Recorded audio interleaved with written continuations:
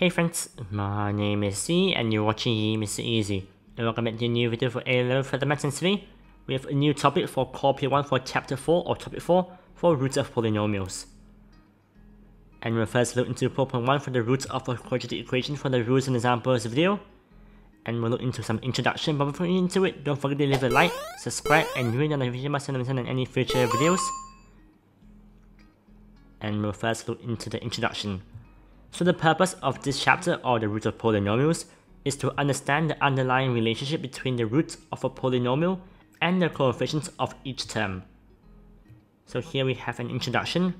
So here we have a graph of p of x, and let's say p of x is equal to x squared minus 3x minus 10, and therefore this can be factorized into, we know that this can be factorized into x minus 5 and x plus 2, and the roots are at 5 and minus 2 like so. And the sum of the roots is basically minus 2 plus 5 which is 3. And we can see that we can notice that it is a negation or the opposite of the x coefficient.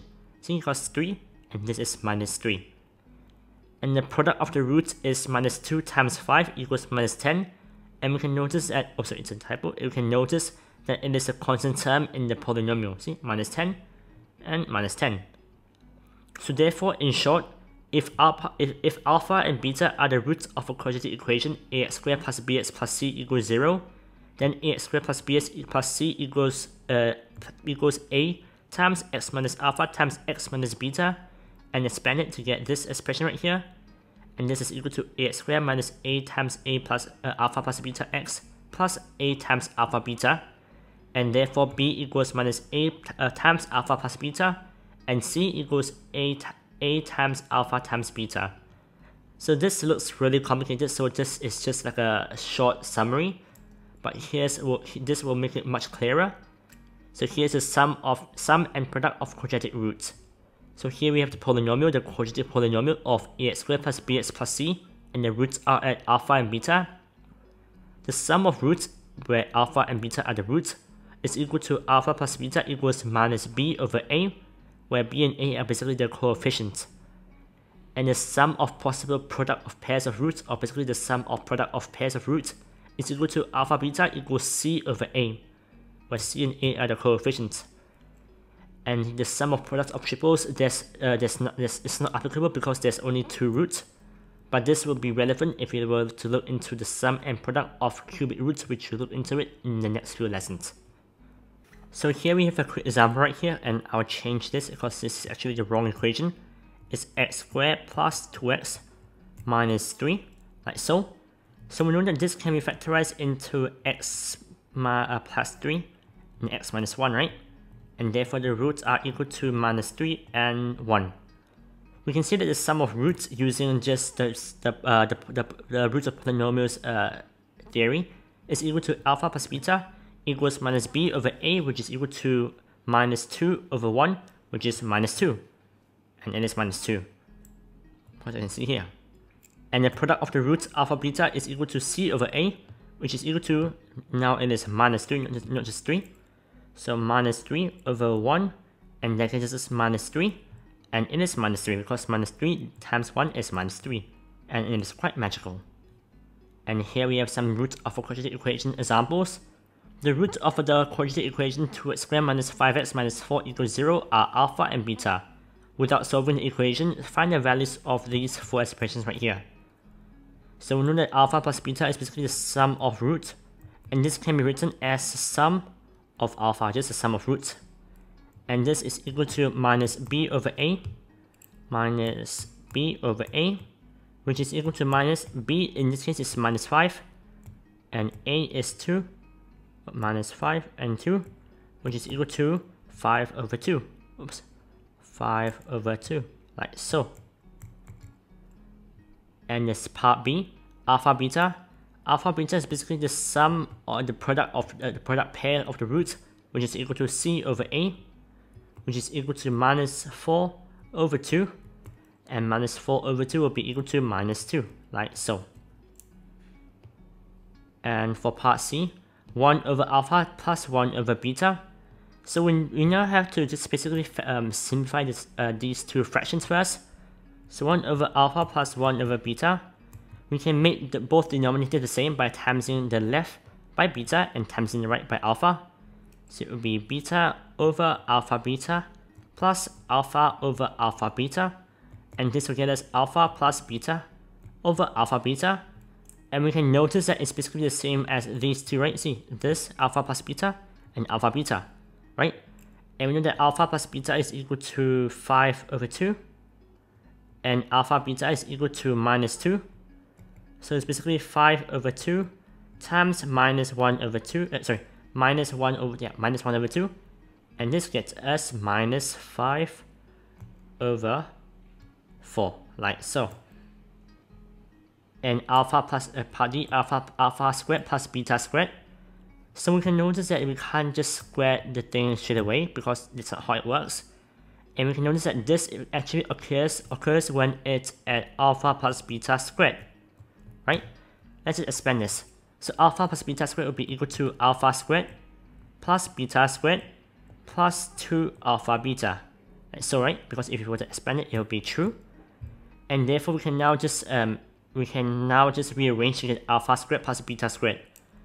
So alpha squared plus beta squared is equal to oops, plus beta squared is equal to alpha plus beta squared minus 2 alpha beta. And we have what alpha plus beta is. It's basically 5 over 2 from here. 5 over 2. So therefore this is just 5 over 2 squared minus 2. Alpha beta is minus 2. So it's just minus 2. So let's just simplify this. Just put into the calculator. 5 over 2 squared is equal to 25 over 4 minus 2 times minus 2.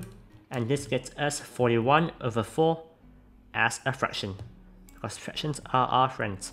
41 over 4, and that's the answer. And in the last example, the root of the quadratic equation ax squared plus bx plus c equals 0 are alpha equals minus 3 over 2 and beta equals 5 over 4. Find the integers value for a, b, and c. So it's basically working backwards. And we know that the um, we know that alpha plus beta is the sum of the roots, and this equals to minus b over a. So alpha is equal to minus 3 over 2. And beta is equal to 5 over 4. And we know this equals minus b over a. And therefore minus b over a minus b over a equals, I'm just put in my calculator, 5 over 4 minus 3 over 2. And this gets us minus 1 over 4. And rearranging everything, minus, and rearranging everything, we can cancel out the negative and this will get us a equals 4b. So a equals 4b for the first part. And we know that alpha beta is the sum of the pairs of the roots is equal to c over a, right? c over a. And we can we know that um we know that alpha beta is equal to minus 3 over 2 times 5 over 4 equals c over a and therefore c over a is equal to minus 15 over 8. So minus 15 over 8, right? And we can now basically just rearrange the equation as well. So 8c equals minus 15a, like so. And now we're going to just find the coefficients for a, b, and c. And first, it looks impossible, but actually that's a really nice way to solve these kind of questions. So because these kind of questions, we can basically, um, this, if we were to like times by 2, it will be the same, right?